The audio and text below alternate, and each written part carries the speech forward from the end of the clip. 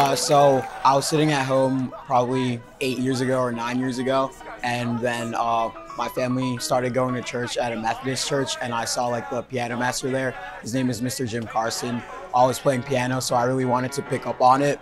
So it was always something that I've been interested in from like my church experience. So then I got a keyboard at home, and I started delving into it, trying it out into something that I really started to like.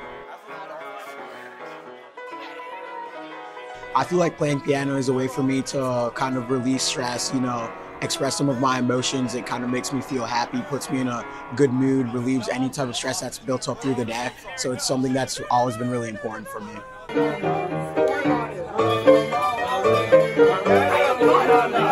It felt really exciting. It's something that's kind of like a unifying force, something that brings everybody together. So it felt really powerful to just like through simply playing piano, it can be like a harmonizing force that just brings everybody together through the shared, I think, love of music, you know.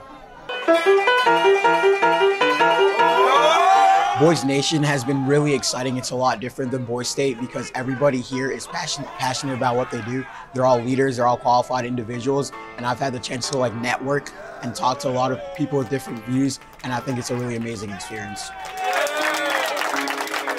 I hope to not only become a better speaker, because I've been already losing my voice from giving several speeches, but I hope to also learn more about our world as a whole, because everybody knows a little bit about like maybe energy, transportation, different information, and I can learn more about the whole world just by communicating with different people, also learning more about their cultures, and hopefully they'll learn a little bit more about me as well.